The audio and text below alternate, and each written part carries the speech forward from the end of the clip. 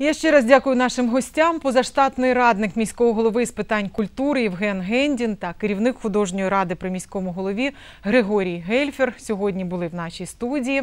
Говорили про перший у Дніпрі книжковий фестиваль, який відбудеться наприкінці тижня. А наступний сюжет із фестивалю, який вже відбувся. На ньому пропонували роботу для ветеранів АТО. Наше місто четверте в країні, де провели такий захід. До Дніпра були Київ, Тернопіль та Херсон. На фестивалі вакансій роботодавці розповідали демобілізованим, які спеціальності у попиті, а знайти роботу можна було просто на місці.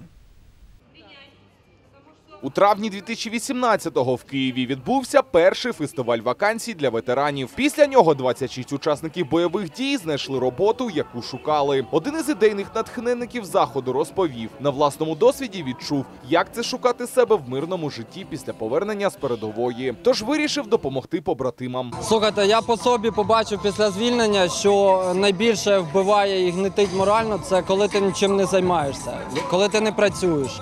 Е, з'являються непотрібні думки, жахливі думки. І я вирішив, що треба рухатися і щось робити. Точно так же і хлопці, їм треба щось робити. Якщо вони не будуть чим займатися, вони не зможуть асоці- е, соціалізуватися. І ми вирішили саме допомагати їм соціалізуватися і знайти себе. Запрошуємо роботодавців, які е, пропонують свої вакансії або навчання якесь і підготовку. І вони напряму спілкуються. На ярмарку представили зо три десятки фірм і підприємств. Пропонують вакансії охоронців, слюсарів, машиністів, менеджерів тощо. Э, профессии монтер Коли. Это профессия, которая является одной из самых востребованных на предприятии, так как э, путь – это один из самых главных элементов всей железной дороги. Э, Кроме этого, нам требуются также слесари по ремонту подвижного состава, нам требуются помощники машинистов, машинисты на дви- подвижный, э, подвижный состав региональной филии Приднепровской дороги. Это самые основные вакансии. ищут те вакан...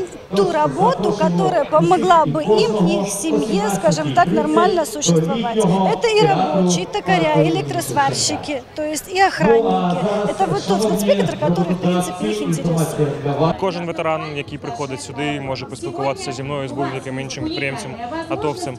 Ми розповімо, як займатися бізнесом. Я вважаю, що після того, як ми проведемо цей ярмарок, а вже атовці казати, що роботи немає, не мають ніякого морального права. Тобто, хто не прийшов, то якби це їх проблеми. На 12-ту годину дня претендентів було не вельми багато. Однак ті, що прийшли, з ентузіазмом спілкувалися із потенційними роботодавцями. кажуть, для них це цікавий досвід пошуку працевлаштування. Я зараз думаю, чим займатися, тому що хочеться відкрити якби і власну справу, і хочеться, знаєте, якби реалізувати себе після служби в армії. Ну думаю, що буде і, можливість є почати нову нове життя, так би сказати.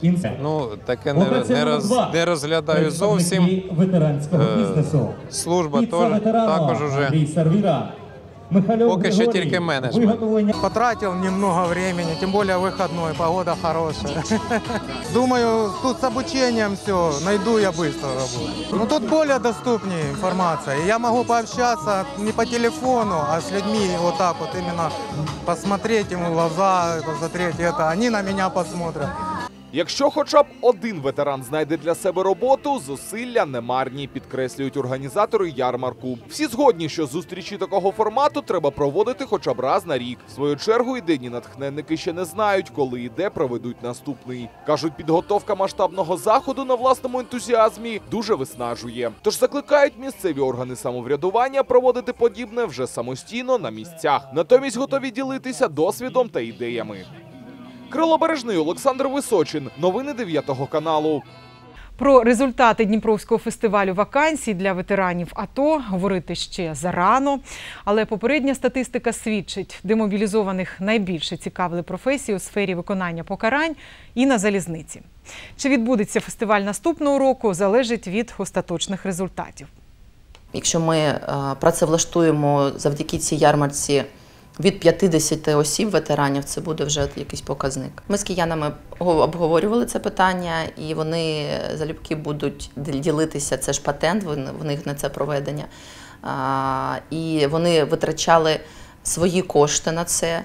І якщо буде е, допомога або з міського бюджету, або ми будемо запрошувати якихось інвесторів на, це, е, на, на цей заход, то буде, буде, буде, буде продовження, і роботодавці вже питалися